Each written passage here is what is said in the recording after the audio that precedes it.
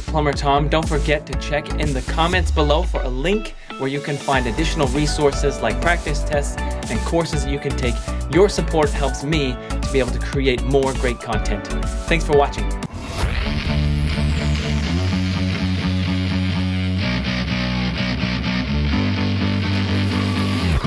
Hello, welcome to this presentation of International Fuel Gas Code Chapter 5. My name is Thomas, and in Chapter 5, we're going to be studying chimneys and vents. During this presentation, we're going to cover section 501 and 502, and that's going to give us kind of an introduction and some of the basic stuff that you need to know when you're installing vent pipe for gas firing appliances. We'll start off in 501, and as usual, we find the scope of the chapter explained at the beginning.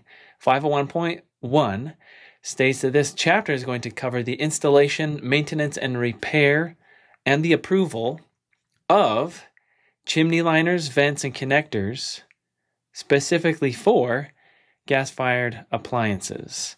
So that's exactly what we'll be looking at of course, every gas appliance is going to need some way to get the exhaust out. And these chimneys, liners, vents, connectors, they're all essential to getting those gases safely outside of the building. 501.2 states that every appliance shall discharge products of combustion to the outdoors. That's the ideal.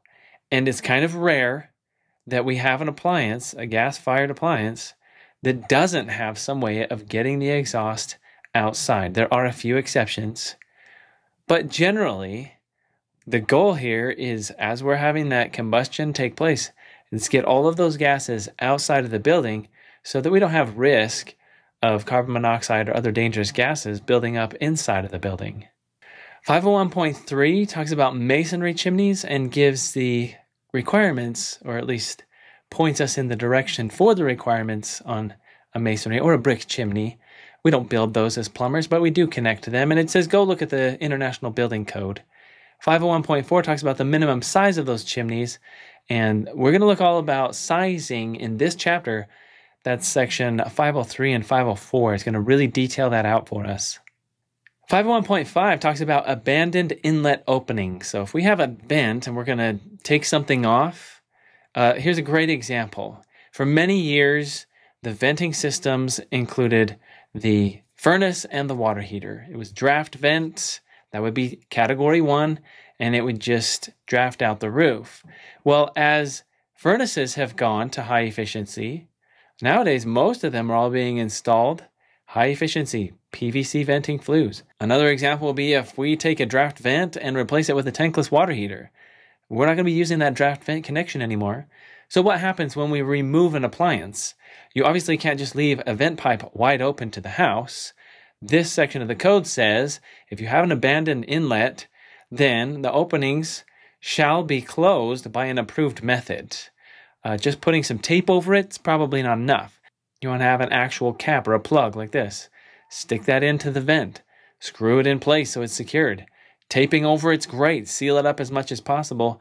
The idea being we don't want any opening where gas could get into the building. 501.6 addresses positive pressure. And we looked at this in our introduction to the fuel gas code, especially as we're looking at this chapter. This is particularly our category 4 appliances, high efficiency furnaces and tankless water heaters that are pushing the exhaust out. It says positive pressure where an appliance is equipped with a mechanical force draft system and creates a positive pressure in the venting system the venting system shall be designed for positive pressure applications. There is a difference in the vent piping between a draft vent and one used for positive pressure. And the difference, main difference, is that anything for positive pressure has to be completely sealed up. PVC piping, when it's glued, is completely sealed up. There should be no cracks, no leaks, no nothing. Totally sealed up pipe, right?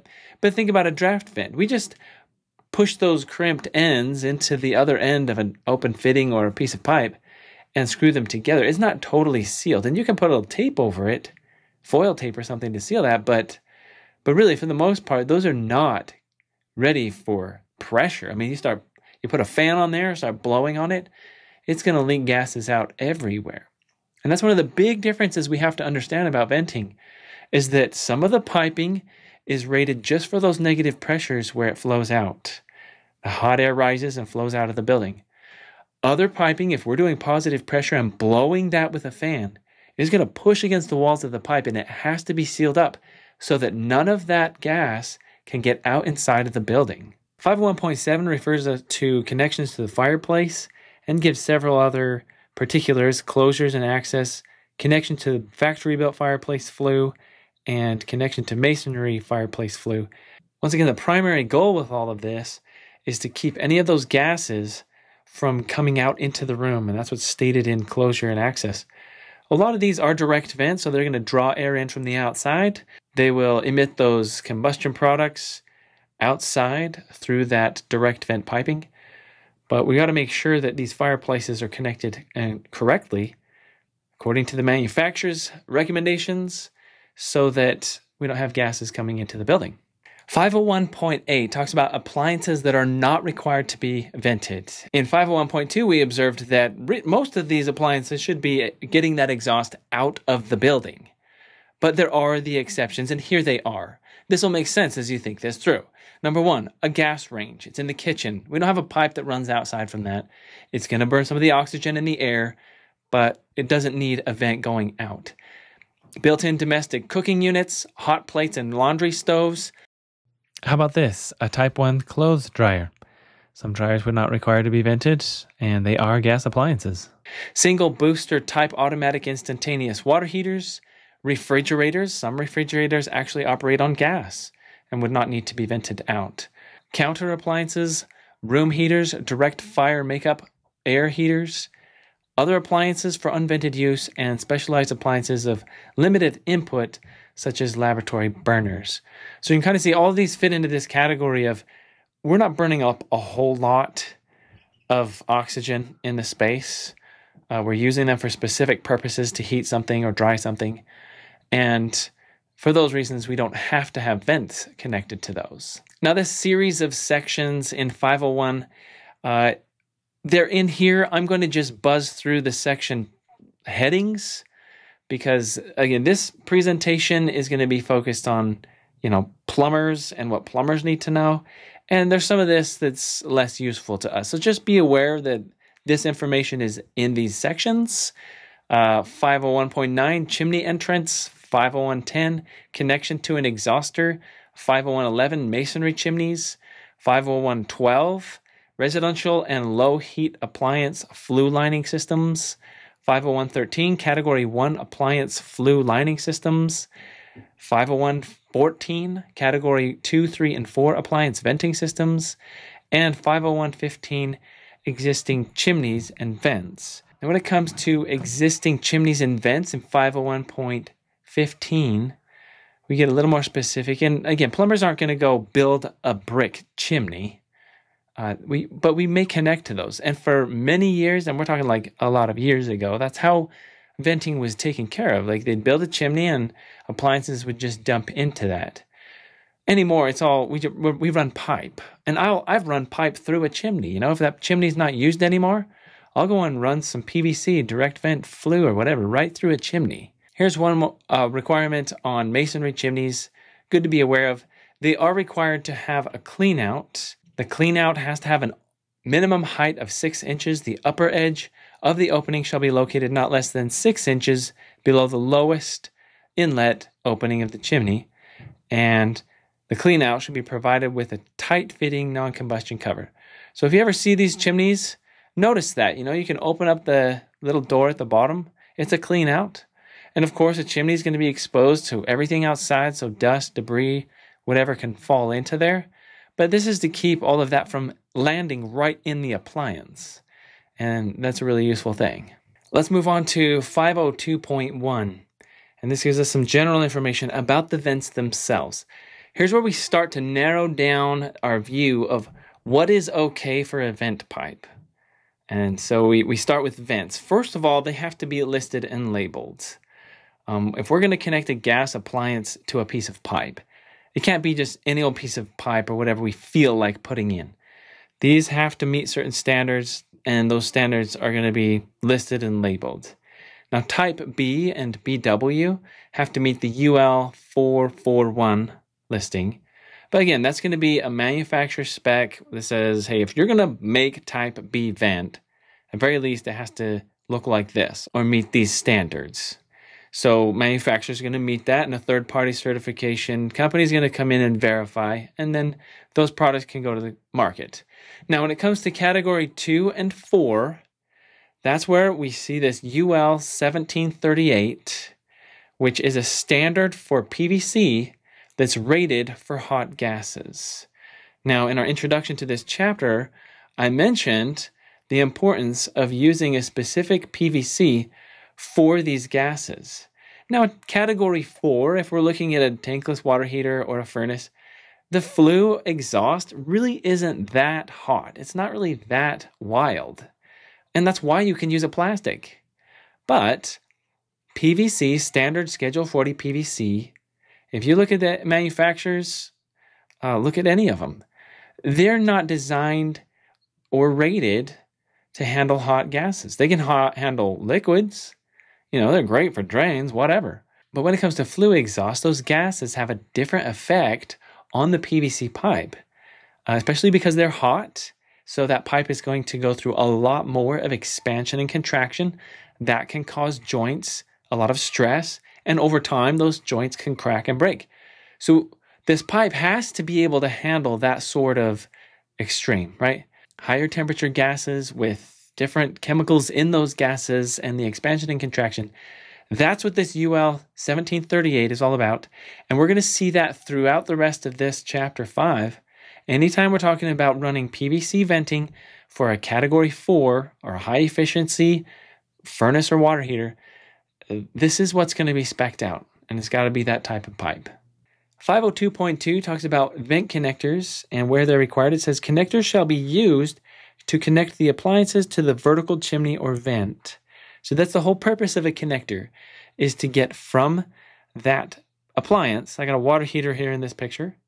And the vent is what's coming down out of the roof. Now notice, if you look close here, the vent coming out of that roof there is a B vent. It's a double wall and that's going to be useful for getting up through the rest of the building, passing combustibles uh, in a way that's safe. But in order to connect to that, you see we have this flex connector. This is actually rated for use here. Uh, it's provided with the manufacturer, so it interlocks to that 90 at the bottom. But that connector is specifically for the purpose of getting the gases from the appliance up into the vent. 502.3 says vent application, and all it's doing is pointing us forward in the chapter to a table 503.4. So we're going to cover this in the next presentation. But just know when it when it comes to the application of vents or knowing which vents would go with which appliances, we're going to cover that thoroughly in 503.4. Let's look at 502.4. This talks about an insulation shield. What we're dealing with here is the fact that these vents are going to have to get to the outdoors, and a lot of times they're going to pass up through attics or other spaces that are insulated. And that insulation needs to be kept back away from the vent. We don't want it piling up against it, either being damaged or even getting burned. So, to keep all of that back, there's a specific requirement about how we handle the vent as it passes through insulation. This requirement states there has to be an insulation shield, and that shield has to be constructed of steel having a minimum thickness of 0.0187 or 26 gauge. And from there, that shield is designed to create a certain clearance between the vent and the insulation material. The clearance shall be not less than the clearance to combustibles specified by the manufacturer's installation instructions. So we look at what type of vent is this, and therefore, how far away from combustibles will that need to be? We're going to look at that later in this chapter as well, and the combustion clearances. Depending on the pipe, we may have to have more space away for one pipe than another. But they're all going to need that space. So you put the shield in there, providing that space. The shield then has to come up two inches above the insulation level so that none of that insulation could be blown into there, come over the top. We just keep it all down and away from that flue pipe. 502.5 talks about installation, says that flue pipe has to be sized, installed, and terminated according to the requirements in the code here and manufacturer's installation instructions. Are you noticing that? So often, code is referring us to manufacturer installation instructions, and I should point out that when it comes to flue pipe, that is going to be particularly important for us to be aware of. If you haven't installed a certain flue pipe before, make sure to look into what are the specifics. Uh, clearance is an, is an example of that. How far away does that have to be from combustibles? What sort of ways did this connect or interlock? Or what other requirements does the manufacturer have in order for this to be installed in a safe way? So we follow those instructions, right? And then, of course, they refer us again to section 503. Guess what? There's a lot in 503 that we're going to learn. And that's why throughout this first part of chapter 5, they keep pointing us over there. For more information, hey, let's go to 503. We'll get there soon. 502.6 talks about the supporting events. Just like any other pipe that we're going to install, it has to have proper support. It says all portions of the vents shall be adequately supported for the design and weight of the materials employed. Chapter 3 in this book gives us hanger and support spacing, so some of that might apply depending on what type of vent pipe we're using. Otherwise, manufacturer's installation instructions would also possibly provide information about how these are to be hung and how often supports should be installed. So that completes our presentation for section 501 and 502 from the International Fuel Gas Code. Join me in the next presentation. We're going to 503. Be excited. This one has a lot of useful and important information. I'll see you in that presentation.